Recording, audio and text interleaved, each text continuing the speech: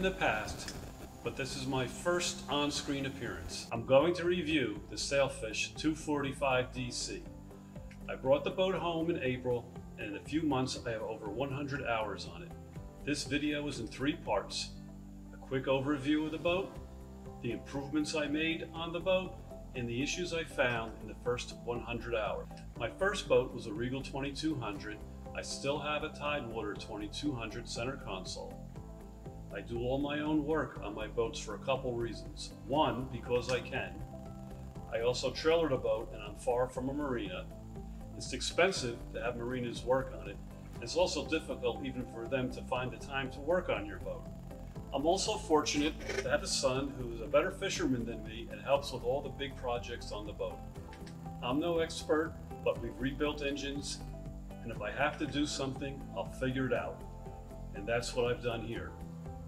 Overall, I can say that the Sailfish 245 is a great boat. It does what it claims. It goes from family fun to serious fishing with ease. I've had it 50 miles out in the ocean off of New Jersey I've had it on lakes in Maine, I've had it up the Hudson River, and will probably find its way to Florida for the winter.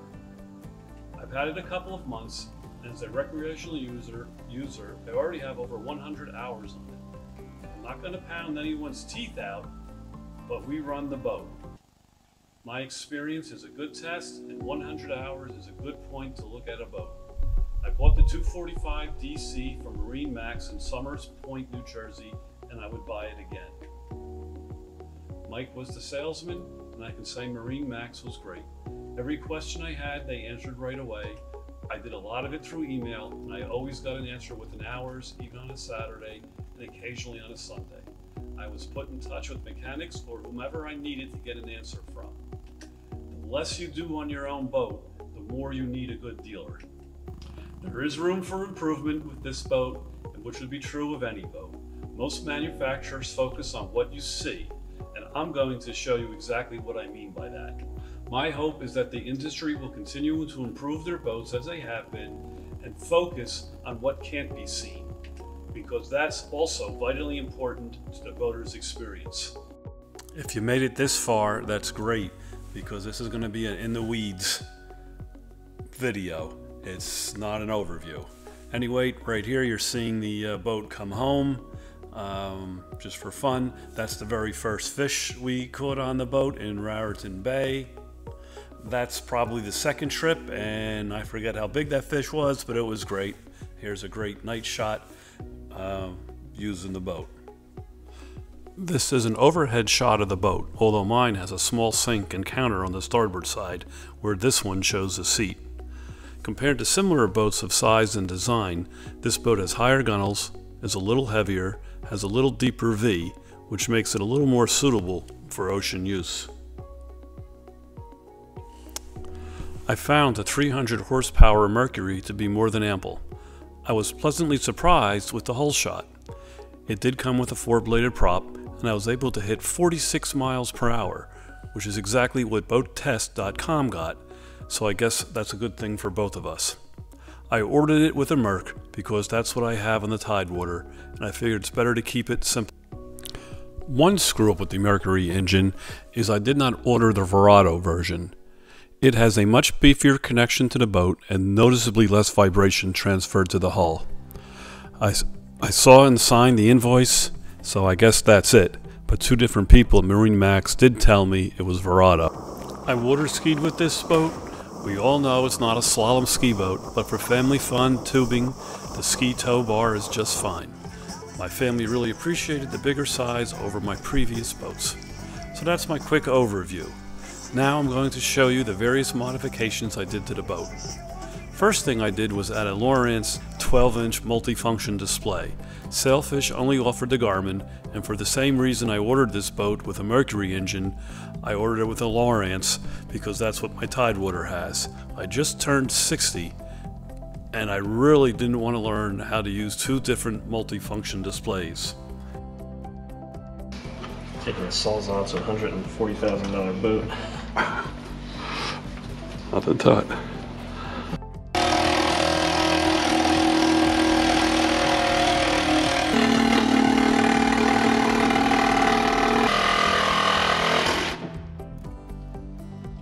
Well, the lights blinked. Heard that? Yeah.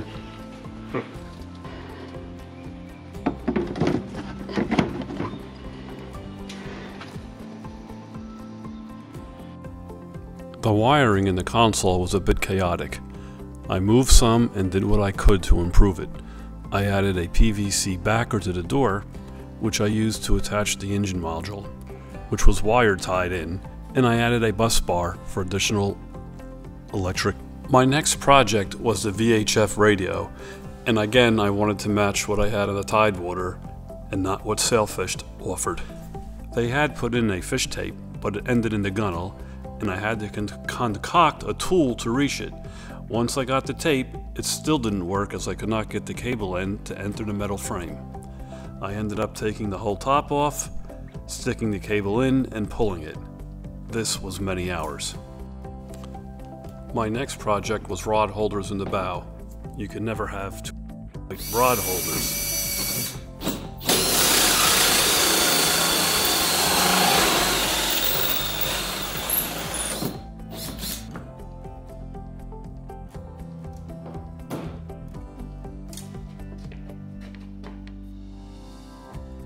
I'm going to add a trolling motor, which is why I put the two rod holders next to each other and did not get the windlass.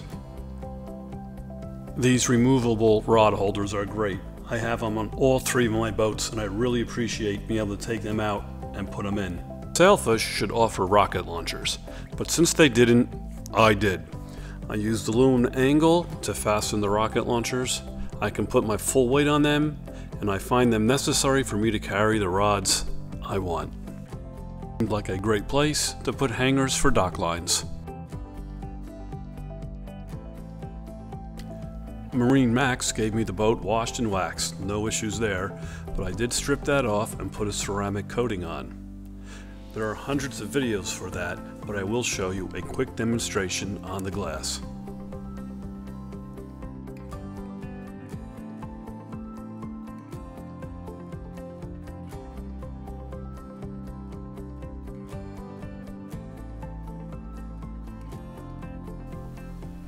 I use 3M 303 fabric guard for the bow and cockpit cover, and 3M 303 vinyl protectant on the seats. Both seem to be like good products and working fine to date.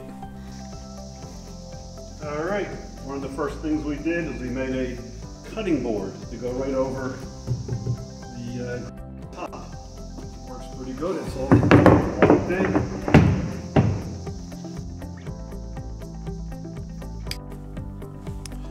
This is by far the cheapest thing on the boat.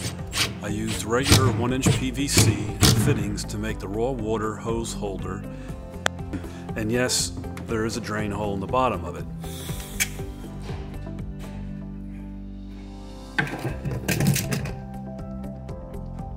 You will notice that my great idea mysteriously moved from the center to the port in this picture. That's what we call not paying attention as the center location interfered with the motor when it was tilted up. For 20 bucks, I was able to cover the holes with a solid Mercury emblem. This was a great addition to the boat. I made a tackle box storage center. It works great.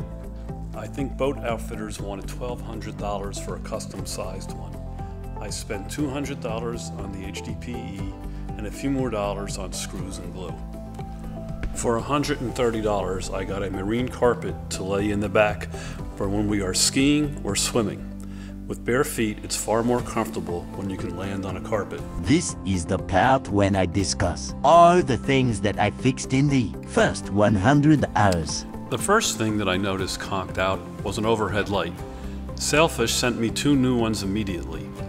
But when I went to replace them, it turned out to be a loose connection.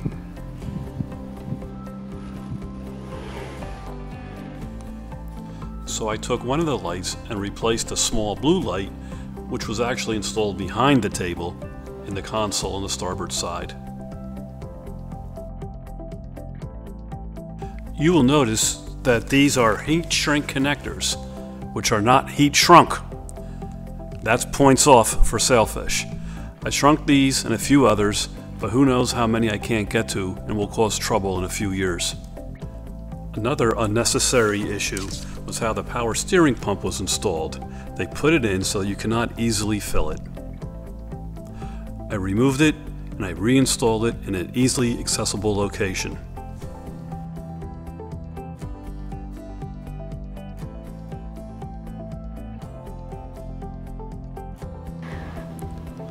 Mercury has done a superb job of making the engine quiet.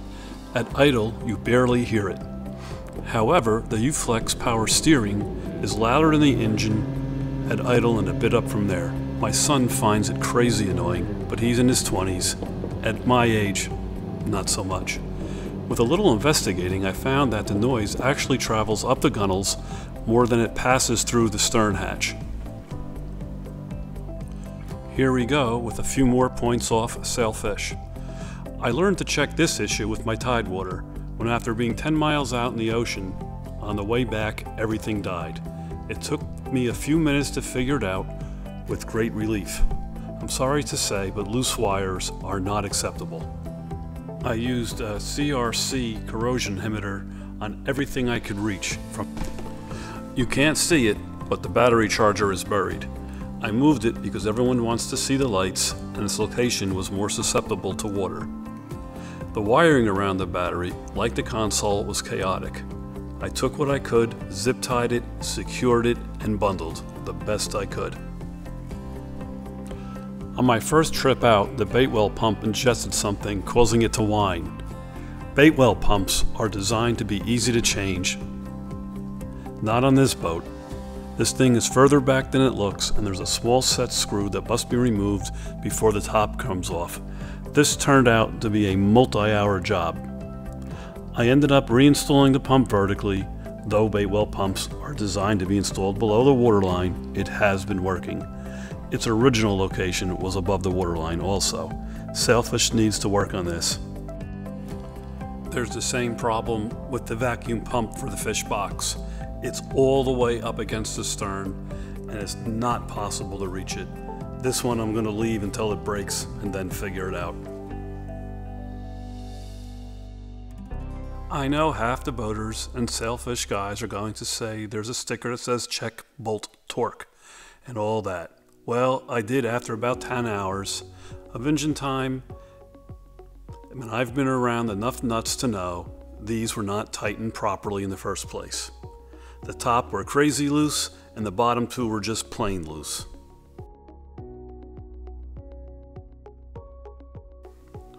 The drain is either crushed or crimped. I ran a snake down it and it hits a hard stop. Not sure how that can be fixed.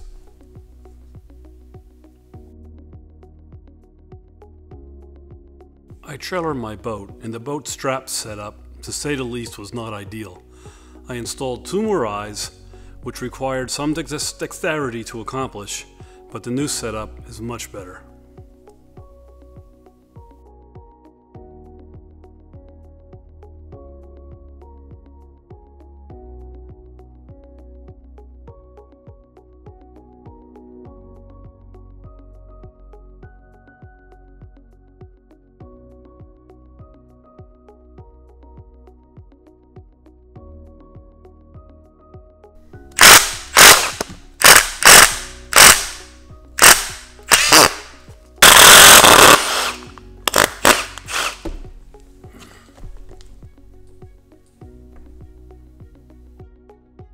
A few other things on this boat.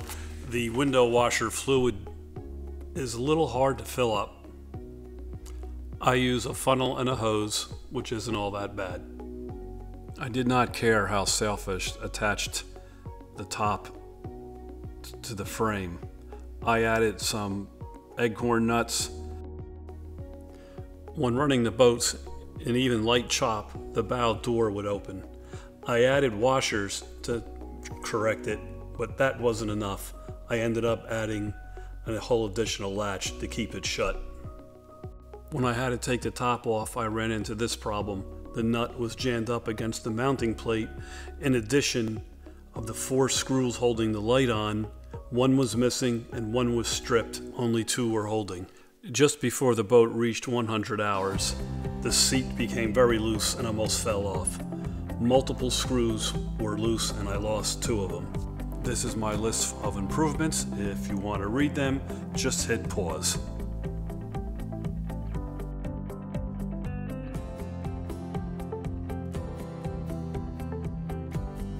I will leave with a few observations. If you don't like boats, don't buy a boat. Boats are not cars, they cost more, they break more, and you use them less. Don't buy the boat, buy the dealer. I've heard this before, but it's a good one. If you work on boats, it helps if you have long arms and small fingers. The most expensive way possible to have a fish dinner is on your own boat. Having said that, I wholeheartedly recommend the sailfish. I'm having great fun with it,